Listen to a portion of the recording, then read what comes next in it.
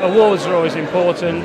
Uh, it's a good good time to produce, show the world how good construction and the subcontractors who work into construction are. Oh, it's, it's, it's uh, massively important for the recognition, for the industry, for the people involved, and, and the work we do. This is the only awards really for specialist contractors, so we like to obviously promote specialist contractors, and ours are very good contractors, so that's why we sponsor these awards.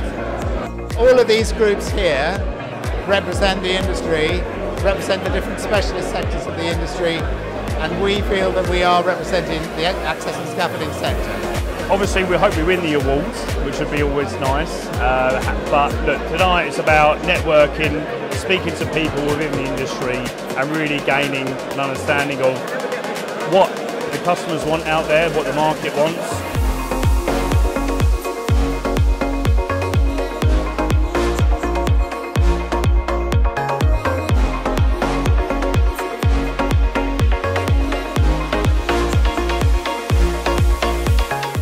I'm really, really happy. I feel honoured. I've been helped so much through my apprenticeship from Baylis, from everyone within the team.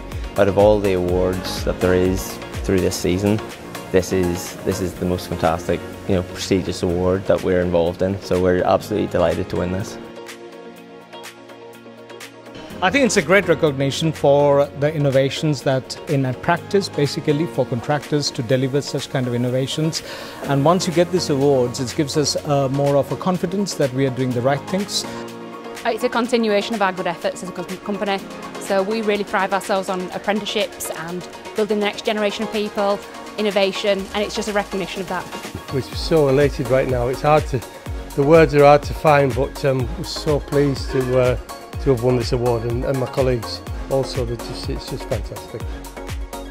It shows the achievement you can do. It doesn't matter how big or how small you are, with us being a small company, but uh, if you put the effort in, you can definitely do it. There's no question about it. I think every, anybody who's proud of the business and what they do, they should definitely enter the awards. Some great categories tonight and uh, really pleased that we won. We didn't think we'd win tonight. When we did the presentation, we didn't think we'd win and we are absolutely delighted. Innovate and improve and do not accept what is in front of you.